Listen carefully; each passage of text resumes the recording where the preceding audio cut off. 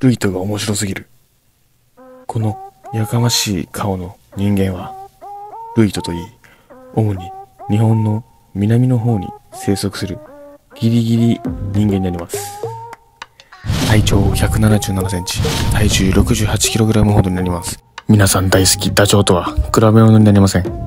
そして YouTube と格闘技を両立して活躍していてみんなからとても愛されていますこのように高身長で面白いし格闘技もしていてモテる要素しかないルートなのですが。一つだけ致命的な欠点があるのです。それは奇跡的なロバ顔なのです。